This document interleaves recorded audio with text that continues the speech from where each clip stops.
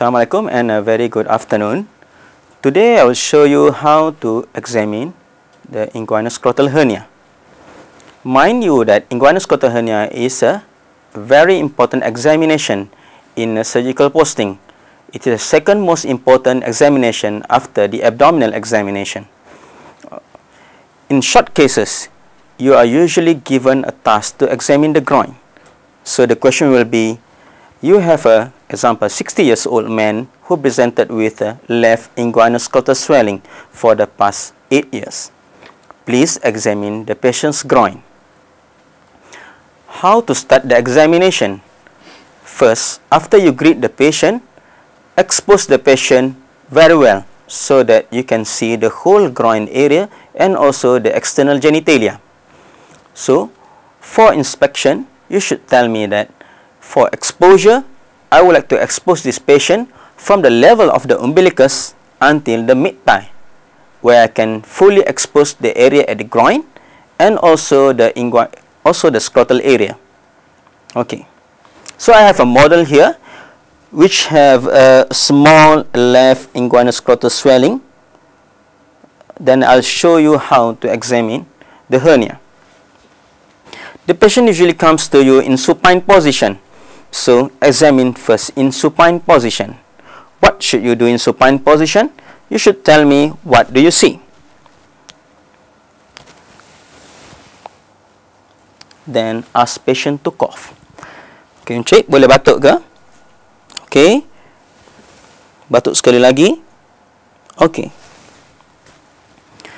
What should you comment? On inspection, I can see a swelling extending from the left groin to the left side of the scrotum. It is around 5 cm in length. However, I'll confirm it during my palpation. There is no gross deformity seen on the overlying skin there is no dilated veins and there is no obvious scrotal swelling seen besides the swelling that I've mentioned before. The, the swelling is more prominent upon cough impulses and I confirm, I confirm it after the palpation. There is no other swelling seen on the right side of the groin.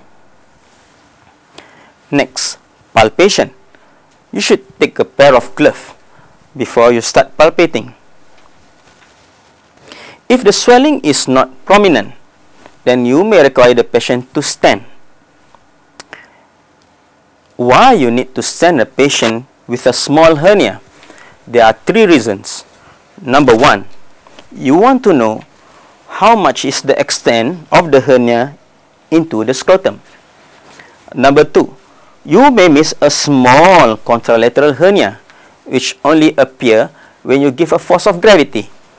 Number three, there is some swelling in the scrotum which is not visible during supine position. Example, a varicocele.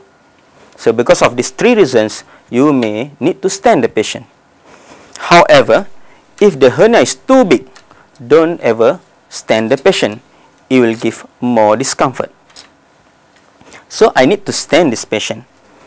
And if you see the swelling is bigger or any other deformities which is not seen during supine position, you should mention it again. For example, when I ask the patient to stand, I can see the full extension of the swelling from the left groin extending to the mid half of the scrotum on the left side. There is no swelling seen on the contralateral side and there is no varicocele seen. Then I proceed with my palpation. How should you palpate? Wearing a glove, start from the hernia side. Support the testis. Then you should palpate along the course of the swelling. When you reach at the upper part of the scrotum or the neck of the scrotum, palpate like this until at the end or the fundus of the swelling then the end of the swelling should be separated from the testis. This is the swelling and this is the testis. Next, get a ruler or a measuring tape and measure the length of the swelling. For this patient, is around 13 cm. Feel for the consistency of the swelling. Usually it is soft and whether it is tender or not. Okay, then you should show me that the neck of the scrotum is full with the content of the swelling. Next, go down again and feel for the testis on the right. Take another hand. At the same time, feel the testis on the, the other side. Sorry, the uh, previous is on the left and put another hands on the right. You should comment that the testis is felt both sides. It is equal in size and consistency. Next, examination of the scrotum on the right side. Palpate the testis, support it and feel above until you reach the neck of the scrotum on the right. Here, you should tell me that there is no content except the feel of the cord structure. Do you have to auscultate? Yes, because you didn't know whether the content is bowel or omentum. There's some argument whether you have to do transillumination test or not.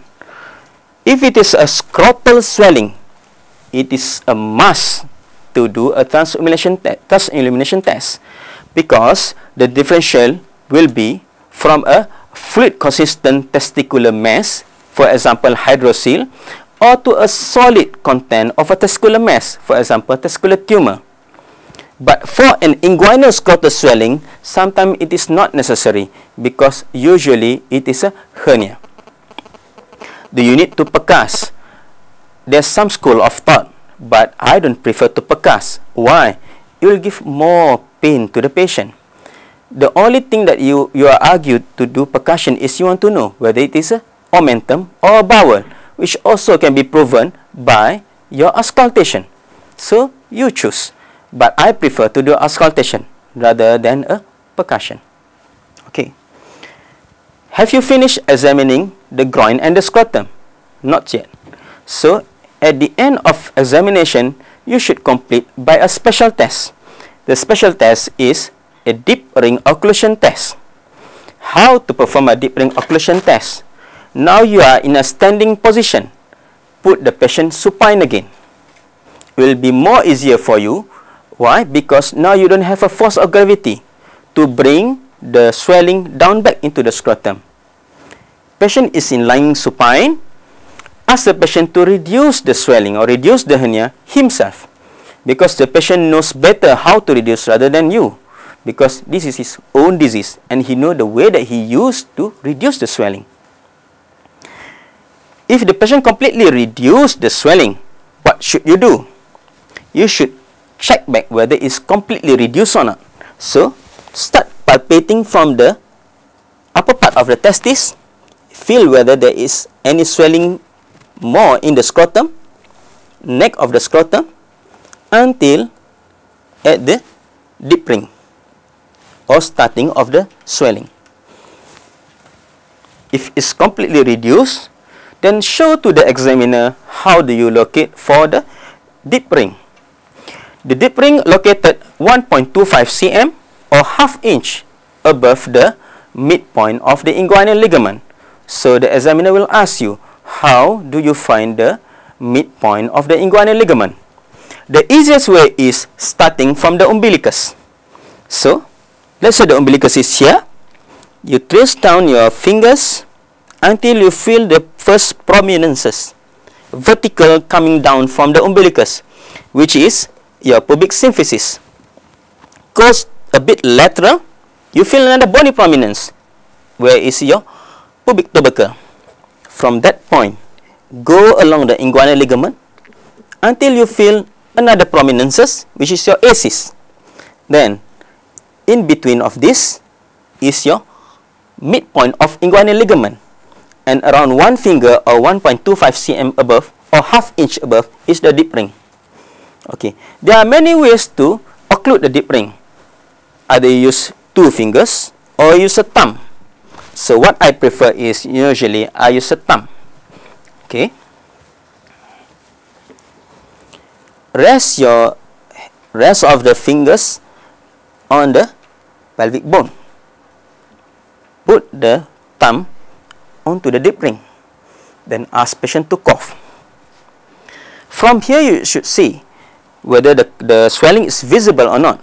If the swelling is visible, it should come medially from the finger, which indicates direct hernia, which usually comes from the Hesselbach triangle.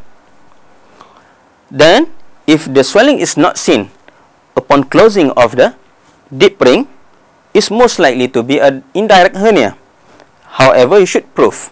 So, take your thumbs out and ask the patient to cough again. Then, the swelling should comes from lateral, coming medially downward into the scrotum. Then what is your impression at the end of the examination? This is an example of a diagnosis of a hernia.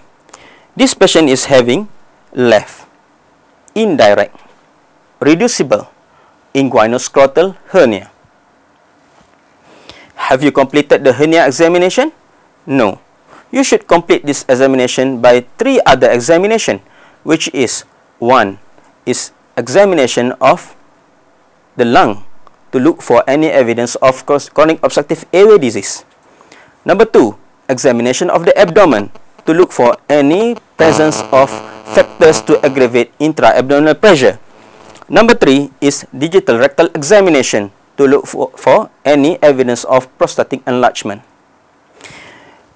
Remember, hernia examination is diagnosis by clinical examination. It is not by investigation.